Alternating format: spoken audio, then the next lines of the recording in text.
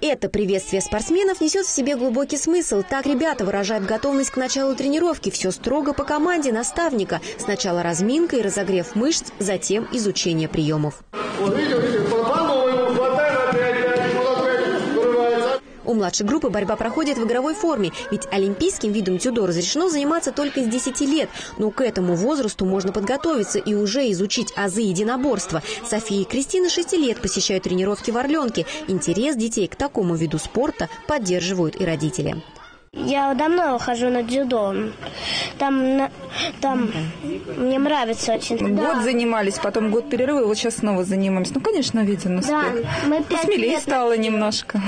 Посмелее, пообщительнее. Да, я много разучила боевых приемов. Ну, и в целом мне нравится этот вид спорта. Дзюдо же не учит именно драться. Дзюдо учит отвечать, так сказать, в первую очередь словами. То есть он учит спокойствовать дзюдо, а потом уже применять силу. А вот Артема можно назвать опытным дзюдоистом. Ему всего 10, но он уже поучаствовал в различных соревнованиях и турнирах и даже получил желтый пояс. В будущем планирует профессионально заниматься дзюдо. Я хочу стать э, тренером в клубе созданы все условия для гармоничного физического развития детей. С ними занимаются опытные тренеры, которые перед ребятами ставят серьезные задачи. Юные спортсмены справляются и радуются каждой своей победе и достижению. Какие-то приемы уже знаешь? Бросок через плечо, э, подножка и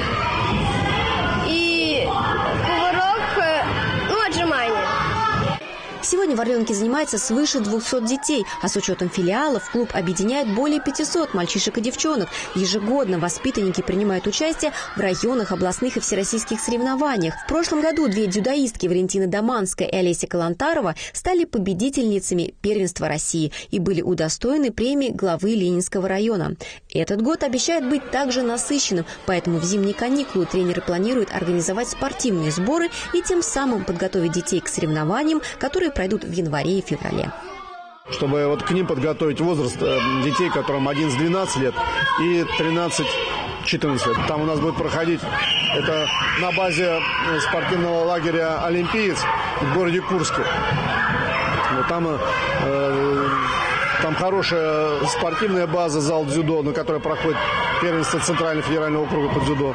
А в эту субботу в Ленинском районе состоится очередной классификационный турнир по дзюдо. В соревнованиях примут участие дети из московских, видновских и домодедовских клубов. Пожелаем нашим ребятам удачи и только победы. Ирина Бокова, Владимир Бежонов, Елена Кошлева, Видное ТВ.